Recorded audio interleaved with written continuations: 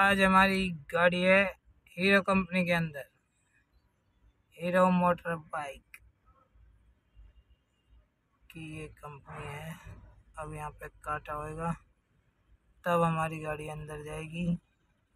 वो हमारा हेल्पर है, जो कांटे की पर्ची लेने के लिए गया है। ये हमारी गाड़ी है।